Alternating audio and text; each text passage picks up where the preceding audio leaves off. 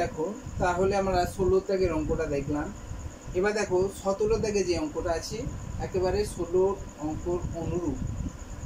একবারে একই রকমের অঙ্ক। ঠিক আছে, তবুও তোমাদের দেখিয়ে দিই একবার যে সতেরো ত্যাগের অঙ্কটা কেমন হবে। একই রকমের, একই টাইপের অঙ্ক। তবুও দেখিয়ে দেবো দেখো, সতেরোটা বলেছে, একটি চিমনির সঙ্গে একই সমতলে অবস্থিত অনুভূমিক সরলরেখার কোনো এক বিন্দু থেকে চিমনির দিকে যদি পঞ্চাশ মিটার এগিয়ে যায়, চিমনির দিকে যদি এগিয়ে যায়, তাহলে তার চূড়ার উন্নতি কোণটা তিরিশ ডিগ্রি থেকে ষাট ডিগ্রি হয়ে যায় চিমনির উচ্চতা বেশ, তাহলে এখানে কি বলেছে? একটি চিমনি আছে সেই চিমনির সঙ্গে একই সমতলে অনুভূমিক রেখার সঙ্গে একটা চিমনি বুঝতে পারছ? হাতে করে আঁকছি তো, একটু অসুবিধা হতে পারে। তোমরা কি করবে? স্কেল করে আনবে স্কেলে পেন্সিল ব্যবহার করবে। তাহলে এ বিটা চিমনির স্তন, তোর উচ্চতা। এই চিমনিটা কি বলেছে? না, একটি চিমনির সঙ্গে একই সমতলে অবস্থিত। এই চিমনিটা এই সমতলের উপর অবস্থিত, তার মানে এখানে নাইনটি ডিগ্রি কোণ উৎপন্ন করছে। আমি এই অঙ্কগুলো, সমস্ত অঙ্কগুলোই হচ্ছে সমকোণী ত্রিভুজ রূপ দিতেই হবে, না হলে পারবে না।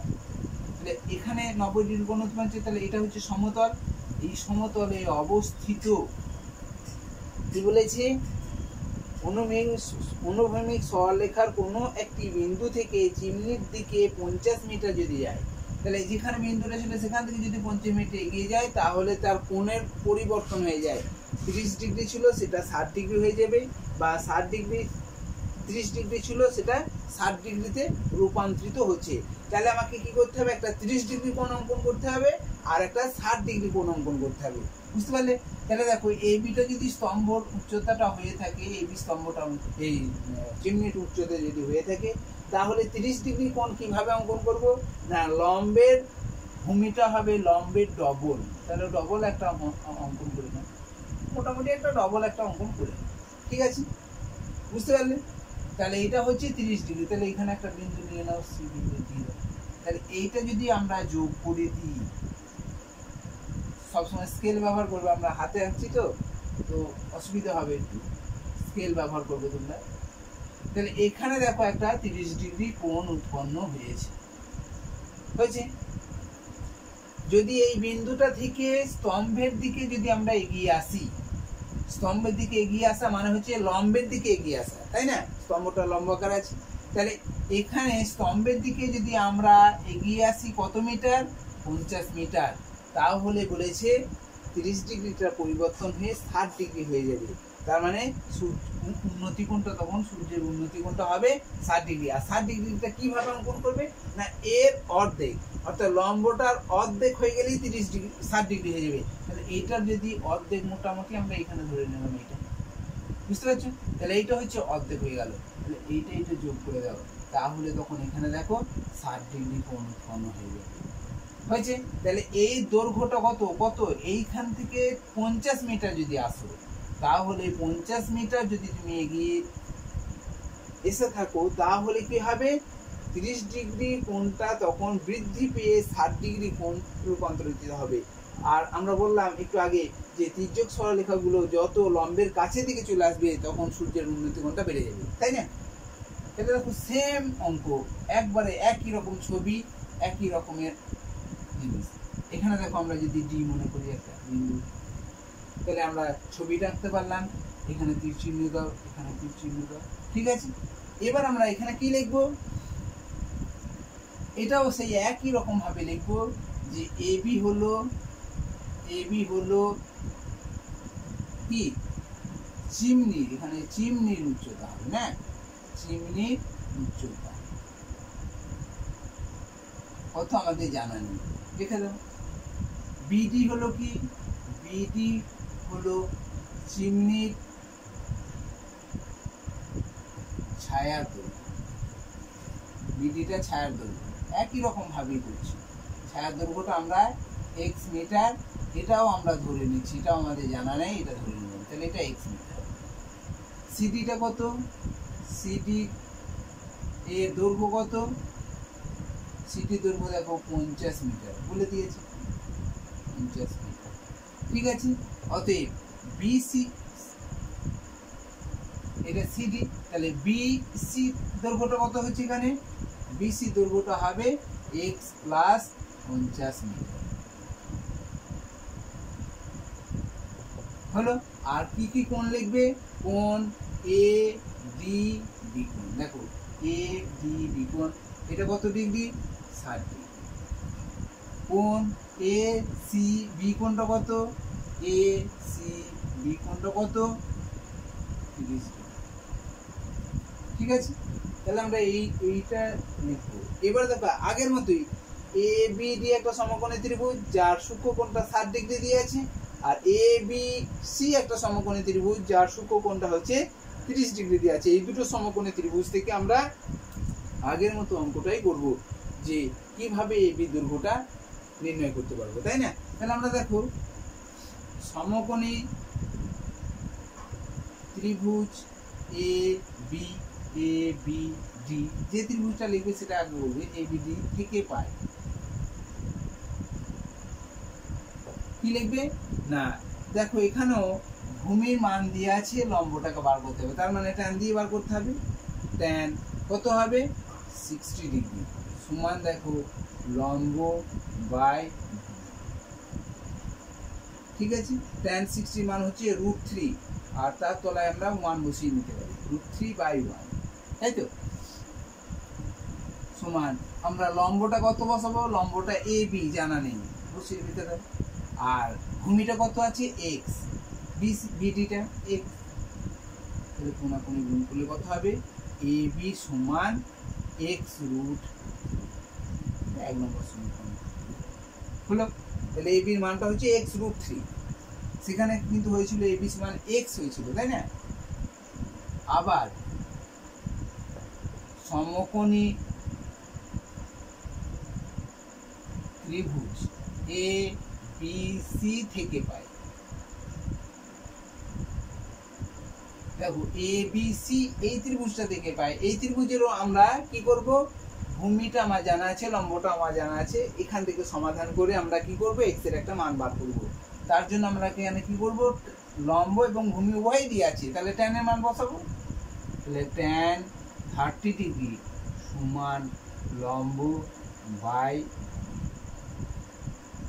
দেখো ট্যান থার্টি মানে হচ্ছে ওয়ান বাই রুট থ্রি সমান লম্ব কোনটা লম্ব কোনটা আছে? এবি এবি লিখে দাও। ভূমি কোনটা বিসি বিসিটা দেখো এ বি সি ত্রিভুজের বিসিটা ভূমি। ঠিক আছে? কখনোই সিডিটা ভূমি নয় বিসিটা ভূমি বিসিটা টোটালটা হয়েছে এখন, কারণ তিরিশ ডিগ্রি কোণ, এটা ধরো তিরিশ ডিগ্রি কোণ যখন হচ্ছে তখন এই এ বি সি ত্রিভুজটা একটা সমকোণী ত্রিভুজ থাকছে, আর এই সমকোণী ত্রিভুজের এই বি সিটা তখন এই চিমনিটা ছায়া দৈর্ঘ্য হয়ে যাচ্ছে। হয়েছে? তিরিশ ডিগ্রি কোণে। আর ষাট ডিগ্রি কোণ হলে ছায়া দৈর্ঘ্যটা হবে বি বিডিটা তাহলে এখান থেকে মানগুলো এবার বসিয়ে দাও। ওয়ান বাই রুট থ্রি সমান এবি কত আছে দেখো? এবির মান কত আছে দেখো? এক্স রুট থ্রি আছে। এক্স রুট থ্রি বসিয়ে দাও। বিসিটা কত আছে? এক্স প্লাস পঞ্চাশ। এক্স প্লাস বুঝতে পারছ? দেখো বিসিটা এখানে দেওয়া আছে এক্স প্লাস পঞ্চাশ। বসিয়ে দেবো। এবার কী করবে? কোনাকুনি গুণ করবে। তাহলে x into root three into root three x root থ্রিকে root three দিয়ে গুণ করলে কী হবে? থ্রি এক্স অর্থাৎ রুট থ্রি আর রুট থ্রি গুণ করলে থ্রি আর এক্স গুণ করলে থ্রি এক্স তাহলে থ্রি এক্স সমান কত হবে? এক দিয়ে এটাকে গুণ করলে এক্স প্লাস পঞ্চাশ। এক্সের কাছে এক্স নিয়ে চলে এসো।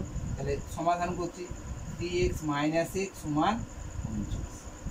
ঠিক আছে এক্স থেকে এটা বিয়োগ করলে থ্রি এক্স থেকে এক্স বিয়োগ করলে টু এক্স টু এক্স সমান পঞ্চাশ। তাহলে এক্স সমান কত হবে? পঞ্চাশ বাই দুই। তাহলে এক্স সমান কত? না এক্স সমান পেলাম পঁচিশ। তাই তো? এক্সের মানটা পঁচিশ পেলাম। কিন্তু আমাকে তো এক্সের সমাধান করতে বলে না এখানে আমাকে বার করতে হবে কি? না এ বি স্তম্ভের চিমনির উচ্চতা। এই চিমনির উচ্চতাটা বার করতে হবে। তাহলে চিমনির উচ্চতার কোনটা আছে? এ বিটা চিমনির উচ্চতাটা তো এ বি তাহলে এ বি সমান কত? চিমনির উচ্চতা চিমনির উচ্চতা কত? এ বি চিমনির উচ্চতা তো A B R A beta কত হয়েছে? এক নম্বর সমীকরণে যেটা পেয়েছিলাম এ বিটা এ বি এ বি সমান কত? এক্স রুট থ্রি তাই তো? এ বি সমান কত হলো? এক্স রুট এক্সের মানটা কত পেয়েছ দেখো? এক্সের মানটা কি পেয়েছ? পঁচিশ। তাহলে পঁচিশ লিখে দাও। পঁচিশ রুট এত চিমনি উচ্চতা এত কি আছে? মিটার আছে, মিটারে। ঠিক আছে? যদি রুট থ্রির মান বলে দেয়, তাহলে তোমরা এখানে উত্তর শেষ করে দিতে পারো।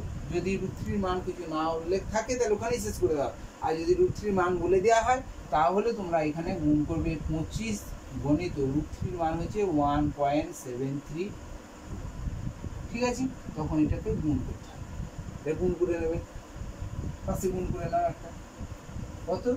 না এক সাত তিন দুই তাই তো তাকে পঁচিশ দিয়ে দিই পাঁচ দুই দশ পাঁচ তিন পনেরো ষোলো আর পাঁচ সাত পঁয়ত্রিশ ছত্রিশ আর পাঁচ একে পাঁচ পাঁচ দুই দশ পাঁচ তিন পনেরো ষোলো পাঁচ সতেরো পঁচাশি দুই দুই চার দুই তিন ছয় দুই সতেরো চৌত্রিশ ঠিক আছে শূন্য ছয় দশ ছয় ছয় বারোকে তেরো, আট আছে বারোকে তেরো।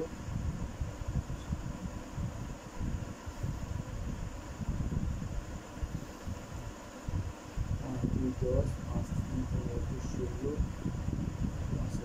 ছিয়াশি দেখো, এখানে দশমিকটা ছিল, তাহলে দশমিক তিন ঘর সরবে, তাই তো? তিন ঘর সরবে। তাহলে forty three point three forty three point three metre তোমরা এখানেই বসিয়ে দিতে পারো এইখানটায় যেহেতু রুট থ্রির মান এখানে বলা নেই, তাহলে তোমরা পঁচিশ রুট থ্রি মিটারটাই উত্তর লিখে দেবে। যদি রুট থ্রির মান বলে দেয়, তখন তোমরা এই মানটা one point seven three two এর সঙ্গে পঁচিশ গুণ করবে, যে গুণফলটা হবে সেটা ঠিক আছে? ঠিক আছে তাহলে?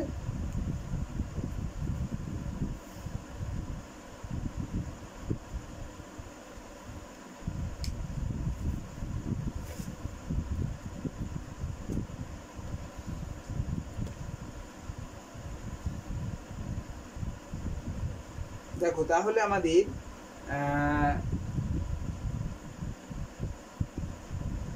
সতেরো দাগের অঙ্ক পর্যন্ত দেখানো হলো। তোমরা এই যতগুলো দেখানো হয়েছে আর কি, সেগুলো তোমরা একটু ভালো করে প্র্যাকটিস করে রাখবে। এই ধরনের অঙ্কগুলোই মাধ্যমিকে অনেকবারই এসেছে, আর এই ছোট ছোট অঙ্ক, সহজ সহজই অঙ্ক মাধ্যমিকে দেওয়া হয়, খুব একটা কঠিন অঙ্ক দেয় না। এই অঙ্কগুলো তোমরা প্র্যাকটিস করবে, ওইটাকে তোমরা খুব ভালো করে প্র্যাকটিস করো, তাহলেই তুমি অঙ্ক পেয়ে যাবে, কোনো অসুবিধা নেই। ঠিক আছে? আজকে তাহলে আমরা এখানেই শেষ করব। তার আগে দেখবে তোমাদের যতগুলো করানো হয়েছে, সেগুলো তোমরা একটু ভালো করে প্র্যাকটিস করবে। ঠিক আছে? আরেকদিন তোমাদের ছয়ের দাগে যে অঙ্কটা আছে, সেটা একটু পরে দেখাবো। ছয় অঙ্কটাও পরীক্ষার সময় এত বড় দেয় না কিন্তু এখানে ছোট ছোট ভাগ আছে তো, সেরকমভাবে অঙ্কটাও দিতে পারে। তবু তবু তোমাদের ওটা দেখিয়ে দেবো। আর তোমরা অবশ্যই প্রয়োগের অঙ্কগুলো খুব ভালো করে দেখবে। প্রয়োগের অঙ্কগুলো তোমাদের বলে দিই যে এই অঙ্কগুলো প্রয়োগ যেন খুব ভালো করে তৈরি করে রাখবে। যেমন ধরো, প্রয়োগ ছয়, ছয়ের প্রয়োগটা খুব ভালো করে তৈরি করবে। প্রয়োগ আট, অনেকবার মাধ্যমিক পরীক্ষায় এসেছি। প্রয়োগ আটেরটা প্রয়োগ নয়ের মাধ্যমিক পরীক্ষায় অনেকবার এসেছি। প্রয়োগ নয় এবং নিজে করে দেখবে দশের অঙ্কটা, প্রয়োগ নয়টা ভালো করে দেখবে, দিয়ে দশের অঙ্কটা নিজে চেষ্টা করবে। এগারোর অঙ্কটা, বারোর অঙ্কটা, এই এগারো, বারো এই অঙ্কগুলো মাধ্যমিক পরীক্ষায় তোমাদের অনেকবার এসেছে। তাই প্রয়োগগুলো খুব ভালো করে করে রেখে দেবে, কারণ প্রয়োগগুলো করব না করে দিয়ে আছে বলে করব না, এরকম করব না কখনোই। প্রয়োগগুলো থেকে অনেক মাধ্যমিক প্রশ্ন আসে, তাই তোমরা এটাকেও ভালো করে রেডি করে রাখবে তেরোটা আমি বলছি না, তেরোটাও তোমাদের খুবই ইম্পর্টেন্ট প্রশ্ন, কিন্তু তেরোর অঙ্কটা তোমাদের এখানে দেখবে আছে একটা অঙ্ক এইরকম ধরনের অঙ্ক আছে উনিশের আগে যে অঙ্কটা আছে ওই রকম ধরনের একটা অঙ্ক এখানে দিয়ে আছে বলে ওটা আমরা তত ই করছি না তবুও তোমরা এটাকে, তেরোটাকেও তোমরা করে। রাখবে হয়েছে, তেরো আর উনিশ একই ধরনের অঙ্ক, আমাদের কোষে দেখি। পেজ নম্বর তিনশো সাতাশের উনিশে দাগের যে অঙ্কটা আছে, আর এখানে যে অঙ্কটা আছে তোমার, প্রয়োগ তেরো, একই রকমের অঙ্ক, একটা ভালো করে বুঝতে পারলে তুমি অবশ্যই পারবে। ঠিক আছে? তোমরা যদি মনে করো প্রয়োগটা তেরোটা করে নিয়েছি, সতেরোটা আমরা নিজেরা করে নিতে পারব, কোনো অসুবিধা নেই, তোমরা করবে। হয়েছে?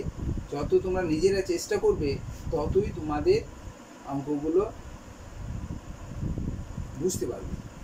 আর প্রয়োগে যে অঙ্কগুলো দিয়ে আছে, সেই প্রয়োগের অঙ্কগুলো তোমরা ভালো করে তৈরি করে রাখো। যে, যেগুলো বললাম, এগুলো কিন্তু মাধ্যমিক পরীক্ষায় অনেকবার করেই এসেছে, এগুলোকে খুব ভালো করে তোমরা প্র্যাকটিস করবে ঠিক আছে? তবু আমরা সময় পেলে আমরা আমরা আবারও এই প্রয়োগের অঙ্কগুলো তোমাদের দেখাবো। ঠিক আছে তাহলে? তোমরা ভালো করে প্র্যাকটিস করো।